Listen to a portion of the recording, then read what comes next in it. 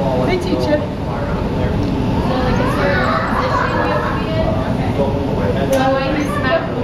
Yeah. It's all part of learning. Have you ever flown before? you got learn, yeah? Our bodies, we don't learn to fly.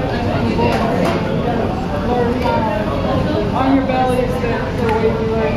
They, they show you video and you train there a little bit. And then they hold on to your to.